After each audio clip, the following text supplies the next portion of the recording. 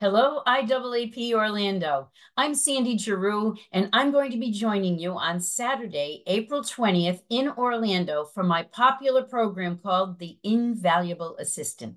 Now, during this program, I'm going to share the top five ways you can become more invaluable to your leaders and your organization and not merely indispensable.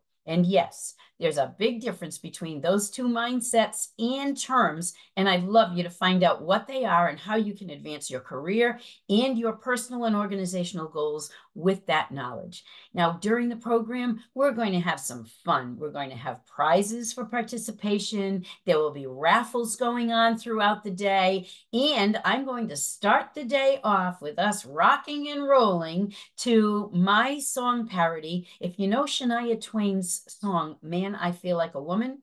Well, I do. Man, I feel administrative. And we always have fun with our audiences being able to laugh and sing to this song. So don't miss this program. Saturday, April 20th. I'd love to be there and help you network. We'll build camaraderie. We'll learn some new information, and you might just find a wonderful, engaging, and inspiring new way to advance your career and personal goals, as well as your organizational goals.